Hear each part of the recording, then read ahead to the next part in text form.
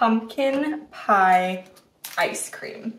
Let me show you how to make it. In a large bowl, whisk together egg yolks and sugar until they're light and airy like this. Then add heavy cream, milk, pumpkin, brown sugar, spices, and vanilla extract with a pinch of salt to a medium pot over medium heat.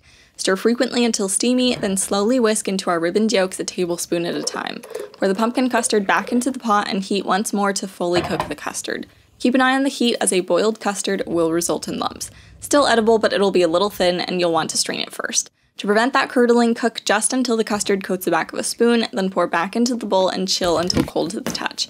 At this point, I place my pie crust pieces in the container I'll store the ice cream in and freeze for a few hours while the custard chills. Pour the pumpkin custard into an ice cream maker and churn until it forms these nice rounded domes, then spoon some of the ice cream into your container, top with pie crust pieces, and repeat. Freeze for another 4 hours until set, then enjoy a double scoop on me. It's so perfectly pumpkiny.